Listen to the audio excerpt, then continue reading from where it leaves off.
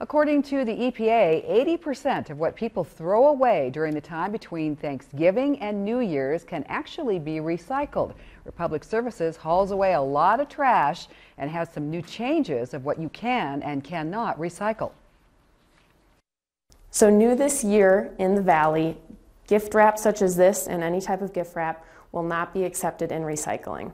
That goes for the county bins and that goes for every single stream system uh, throughout the area.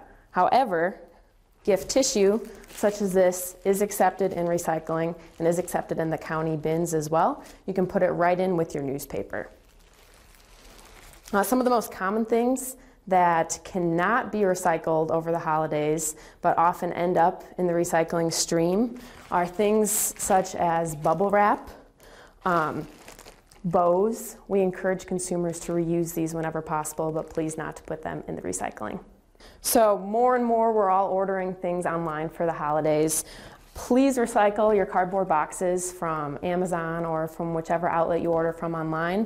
We just ask that you crush and flatten the boxes. Leaving tape on them is just fine.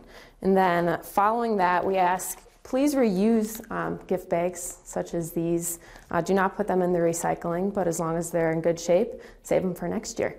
While we are out merrymaking during the season with parties and decorations and gifts and travel, Republic Services stats say that our extra garbage for each household goes up 25%. As 2017 nears an end,